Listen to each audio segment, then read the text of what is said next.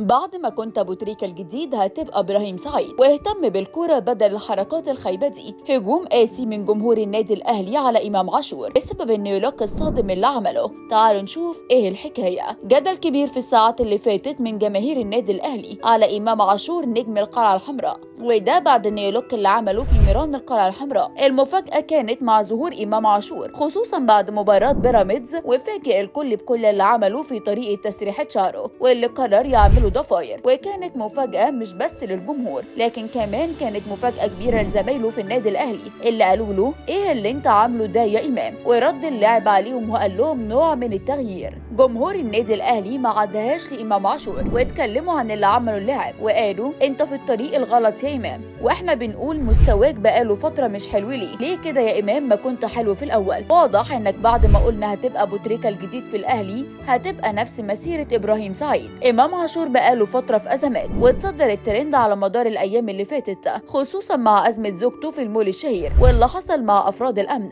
البداية كانت مع إن زوجته قالت له إنها تعرضت لمضايقة من فردين أمن في المول. إمام فاجئ الكل وبعد ما خرج من المول رجع تاني ومعاه مجموعة من الشباب اللي جم بسرعة للمول وقرروا إنهم ياخدوا حق زوجته وفي الواقعة دي اتأذى فرد الأمن اللي قدم بلاغ ضد إمام عاشور. مش بس كده لكن كمان لما حصل تفريغ للكاميرات اتضح إن فرد الأمن كان صادق في كلامه وملوش إن حصل أي مضايقة لزوجة إمام عاشور. كمان إمام كان حديث منصات التواصل في الفترة اللي فاتت بعد اللي حصل بينه وبين شيكابالا ودخول كهرباء على خط الأزمة بعد التصريحات اللي قالها شيكا عن إمام. والكلام عن اللقطة الشهيرة في مباراة القمة في نهائي الكاس وظهر إمام جنب شيكا وقال له كلمتين ومشي. شيكا طلع بعد اللي حصل ده وقال مع إبراهيم فايق أنا مش هقدر أقول اللي قاله إمام. هو يطلع ويقول لكن كل اللي أقدر أقوله إن إمام طلب التيشيرت بتاعي وما كنتش متخيل إن إمام عاشور ممكن يروح النادي الأهلي لأنه كان معجون بحب الزمالك وكان بيتكلم معايا طول الوقت لما كان محترف بره تخلص الحكاية على كده؟ لأ. اتفاجئ الجمهور بظهور كهربا في حلقة مع الإعلامي سيف زاهر ونقل رسالة من إمام عاشور للجمهور